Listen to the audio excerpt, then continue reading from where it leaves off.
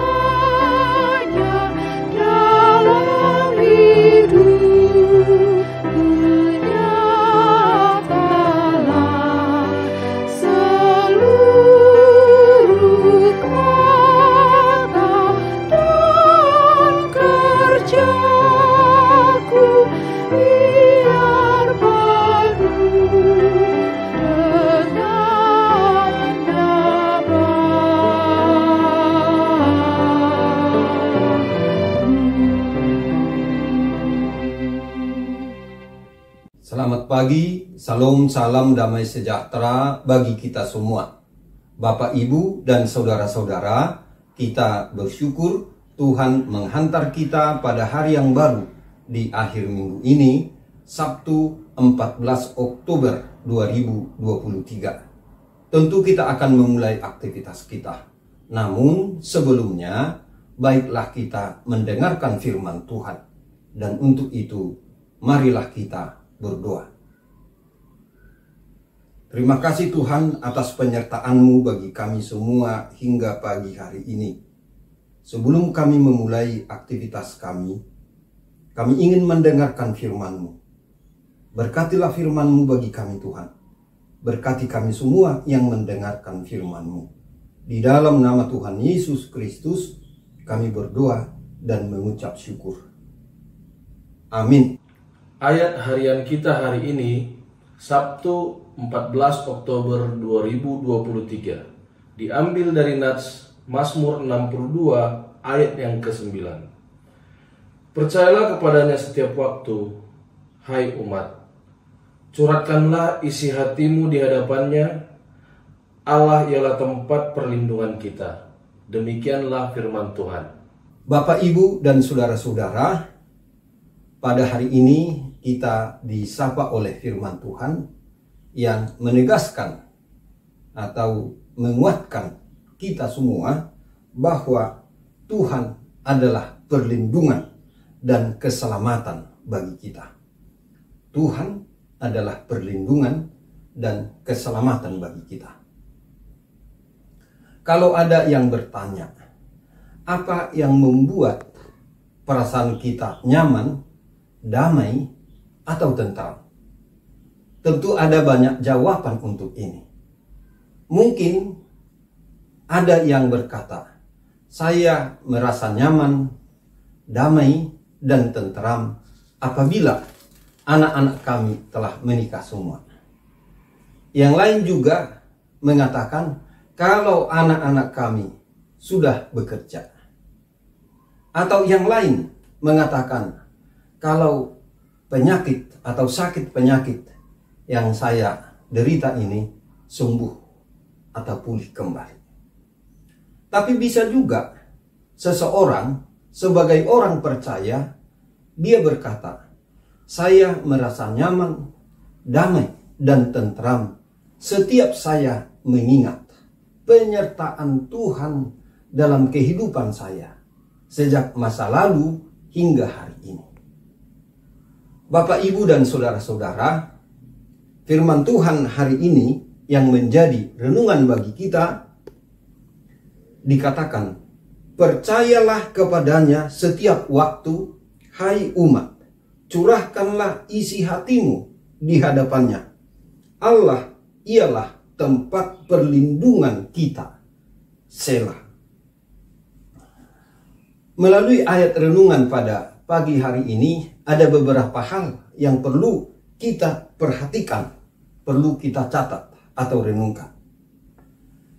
Kepercayaan kepada Tuhan, penyerahan diri kepada Tuhan, dan keberanian kita setiap hari, setiap saat menyampaikan apa yang kita pikirkan, kita rencanakan, dan segala sesuatu yang ada di dalam hati dan pikiran kita, termasuk perasaan-perasaan kita yang tidak nyaman, khawatir, kecewa, dan lain sebagainya.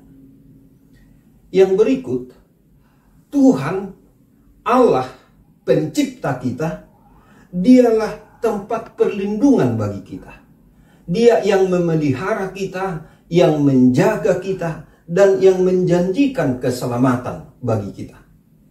Pada pasal ini, kita baca misalnya dua ayat. Ayat dua, hanya dekat Allah saja aku tenang, daripadanya lah keselamatanku. Dan ayat enam, hanya pada Allah saja kiranya aku tenang, sebab daripadanya lah harapanku. Bapak, Ibu, dan saudara-saudara, kedua ayat tadi menegaskan betapa bagi orang percaya pengharapannya dan keselamatannya ditempatkan pada Tuhan. Bapak, Ibu, dan saudara-saudara, karena firman Tuhan hari ini mengajak kita atau setiap orang dari antara kita untuk percaya kepada Allah dengan sepenuhnya dan berani mengungkapkan apa yang kita rasakan setiap hari. Artinya, setiap saat, kapan saja, dan di mana saja. Saat kita mempercayai Tuhan, kapan pun dan di mana pun, Dia akan bekerja untuk kita menurut rencananya menurut kehendaknya. Harapan kita ada di dalam kasih, kuasa, dan kesetiaannya kepada kita. Dan jika kita pada waktu ini hidup kita kita serahkan dalam tangan perlindungannya, di sanalah rasa damai, rasa tenang, dan rasa nyaman itu. Percaya kepada Tuhan, menyerahkan diri setiap saat kepadanya. Amin. Selamat pagi, salam damai sejahtera, Tuhan Yesus memberkati. Kita berdoa. Terima kasih Tuhan atas firman-Mu bagi kami pada pagi hari ini. Biarlah itu meneguhkan iman percaya kami masing-masing. Kami berdoa bagi saudara-saudara kami yang dalam keadaan berduka, biarlah Tuhan memberi penghiburan dan penguatan bagi mereka semua yang dalam keadaan sakit. Biarlah mereka sembuh atau pulih ya Tuhan. Dan merasakan kehadiran Tuhan menyertai mereka satu persatu. Teman-teman kami juga yang akan menjalani tindakan dokter atau medis pada hari ini, Tuhan kuatkan iman mereka dan biarlah apa yang akan dilakukan tim medis boleh berjalan dengan baik demi kebaikan kesehatan, demi pemulihan mereka. Kami berdoa untuk orang-orang yang dilanda keputusasaan. Biarlah mereka ya Tuhan tetap memiliki pengharapan dan mereka menggantungkan harapannya kepadamu.